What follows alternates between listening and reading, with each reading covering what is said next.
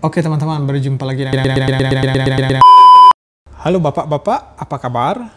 Harusnya hari ini jadwalkan upload PC rakitan Kerehore, tapi editnya belum kelar.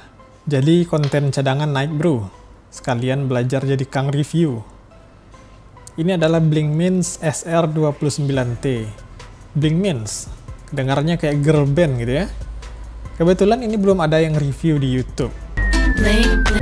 Video ini nggak disponsori ya guys. Ini hanya review singkat saja sekaligus sedikit tes dan perbandingan performa dengan HSF lain. Pertama mari kita lihat paketannya dulu. Di depan bisa kita lihat di sini simple saja ya, nggak ada editan-editan lebay di boxnya, hanya ditampilkan produknya saja. Di samping box juga dituliskan spek lengkapnya.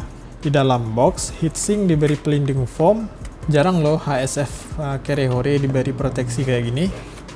Dan di dalam boxnya sendiri terdapat heatsink dan fan, bracket, pengunci, pasak, dan thermal paste. Tidak ada manual book atau kartu garansi guys. Inilah dia Blinkmins SR29T HSF Tower Mini dengan fan 90 mm atau 9 cm. Auto RGB ring, fannya memakai 4 pin PWM dengan speed 2000 rpm lebih kurang 10%. Kemudian jika kita lihat penampangnya, tipe SR29T ini memiliki dua pipa tembaga.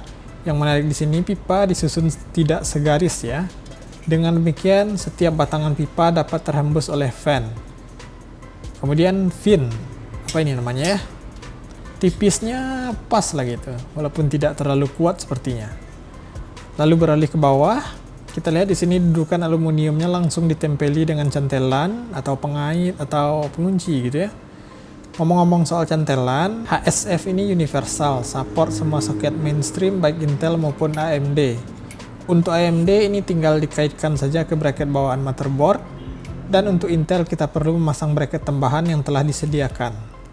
Bracket ini bisa dipasang ke soket LGA 775, LGA 115X dan tentunya LGA 1200 yang mana lubang-lubangnya sama persis dengan LGA 115X.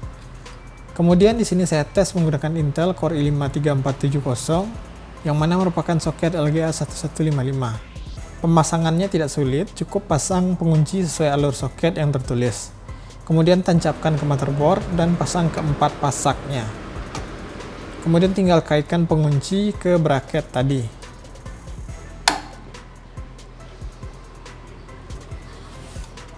Saatnya cek performance. Di sini sekalian saya adu dengan fan bawaan atau stok Intel dan juga HSF low budget dari Deepcool. Ketiganya memakai thermal paste bawaan heatsink ya. Pengujian meliputi benchmark gaming Shadow of Tomb Raider dan CPU stress selama 10 menit menggunakan Railbench versi 2.34. Suhu ruangan saat pengujian adalah 26 derajat Celcius. Pada testing Shadow of Tomb Raider, suhu rata-rata CPU dengan Blinkmins adalah 54 derajat, hanya menang tipis melawan stok Intel dan Deepcool Alta 9. Begitupun juga dengan suhu maksimalnya,